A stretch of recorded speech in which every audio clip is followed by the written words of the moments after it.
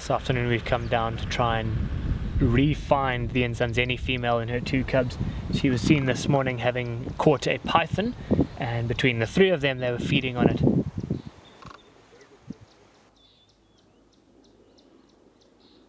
We can see the two cubs but there's no signs of where the mother is.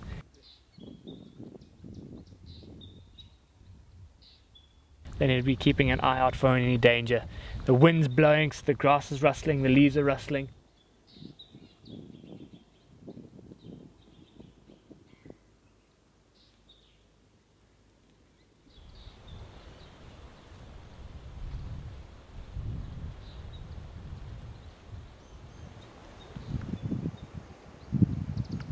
They're just waiting here whilst their mother has gone off, probably to go and rest somewhere else, or potentially go off and hunt and see what else she can provide for them. But I'm sure, knowing these cubs, they're young, they're playful, they're probably going to get out and about and start trying to see what they can do themselves.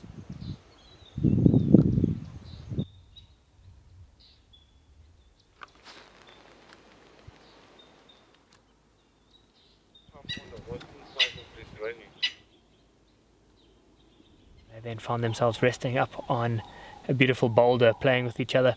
I guess that's one great thing about cubs and having a sibling is they're then able to play with each other, developing those skills that they're going to need for later on in life.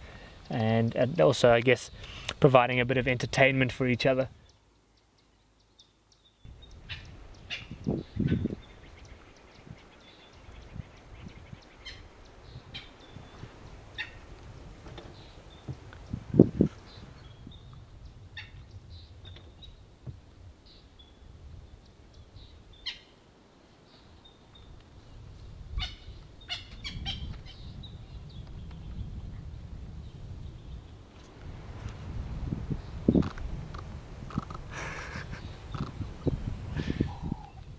Their patience is worn thin with their mother coming back to collect them, so they've taken it upon themselves to try and fetch some dinner.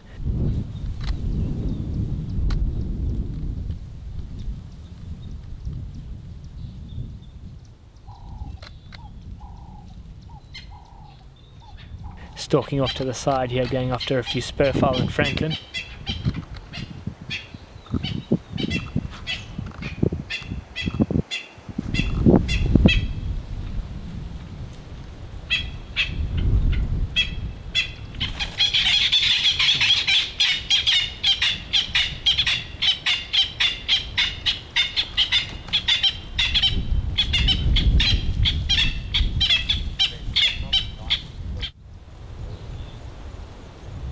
The tree trying to get the spine or the skeleton left from the python.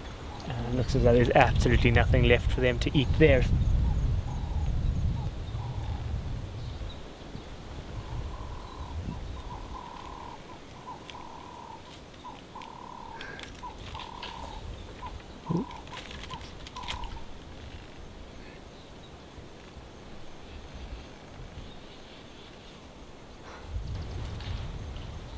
and together they've just been playing around here, biting each other's tails and wrestling a little bit. So what we're hoping for is for both of these two cubs to survive because they're coming from the direct lineage of the mother leopard. They're essentially Londolozi royalty. And how we track that is through the female's bloodline because we can guarantee and determine exactly who the mother is. However, it's not an exact science with who the father is unless we do DNA tests, and that's going to get costly and a little bit impractical. So if these two cubs survive, they will essentially then pass on that mother leopard lineage. And so with the young male, he'll most likely move out of the area if he survives, but with the female, she will probably set up a territory somewhere close by here. Her mother will normally give up a small portion of the territory while the young female is then trying to establish herself, and then from there she'll expand her territory.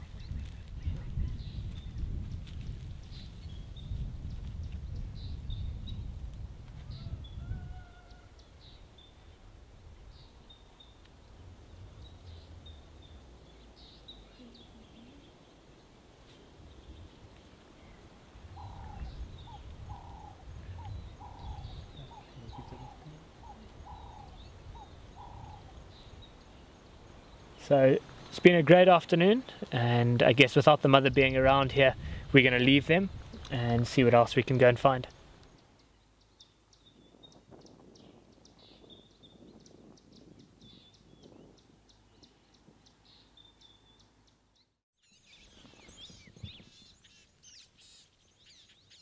Just come across one of the water holes on the reserve and there's a few giraffe that are looking pretty desperate for a drink but there's two hyenas lying off to the side and so with the hyenas being around the giraffe are pretty nervous because when they drink they have to spread their legs pretty wide bend their head right down to pretty much below their feet in order to be able to drink.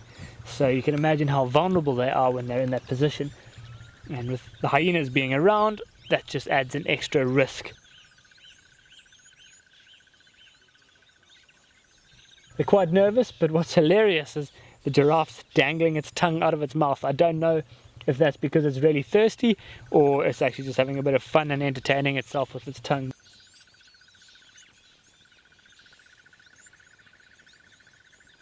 As it's getting blown away in the wind. I'm hoping for the giraffe's sake that they're able to actually get a drink.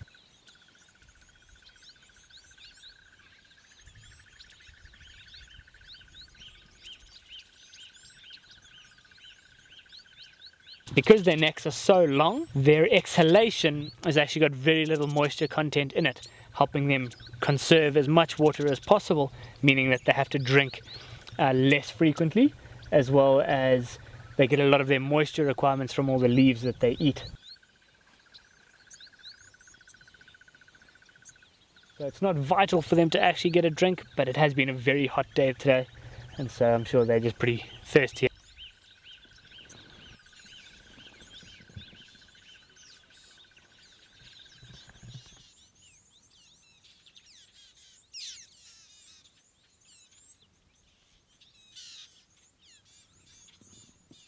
Looks as though the giraffe have given up on this attempt of having a drink.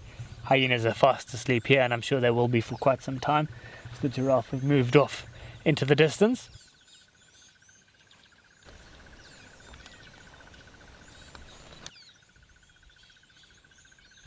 But you'll probably find they'll come back a little bit later on hoping that the hyenas have then moved on. But speaking of which, we're going to carry on, see what else we can find this afternoon.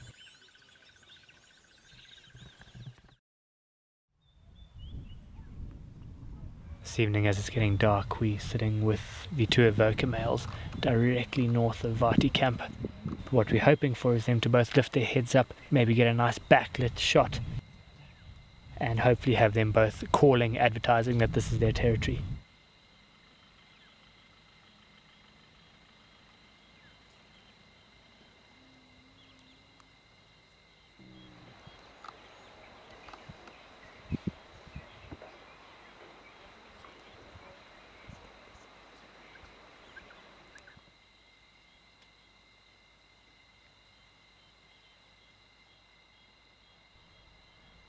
So we're halfway there. One of the males has got his head up. It's getting dark, so it's going to provide some great opportunities to get some backlit shots here.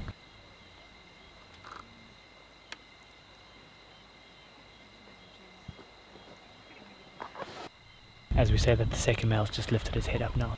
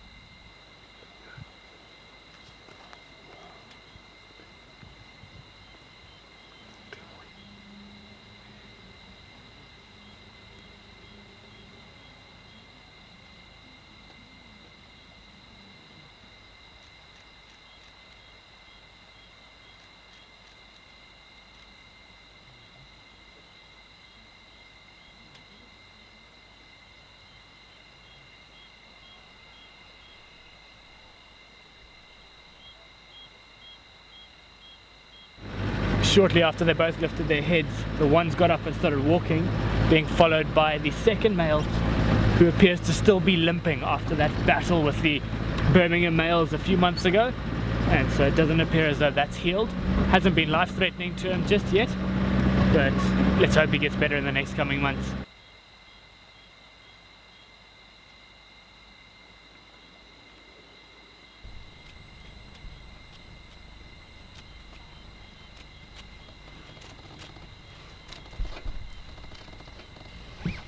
It's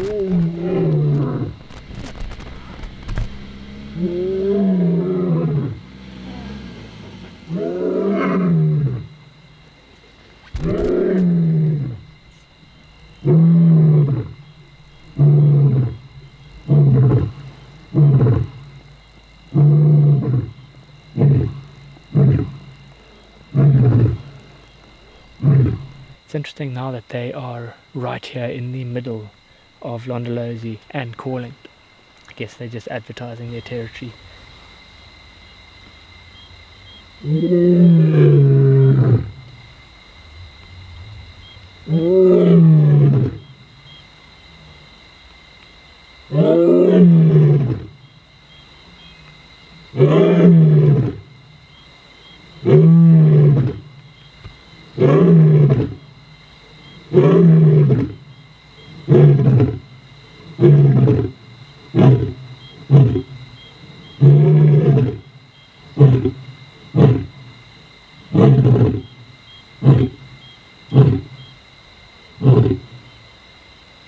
That's been phenomenal. We got more than we asked for. We wanted just a backlit lion sitting up, but we got a backlit lion calling. So it's not going to get much better than that. I reckon let's call it quits there. So we arrived just in time as these two lions were mating.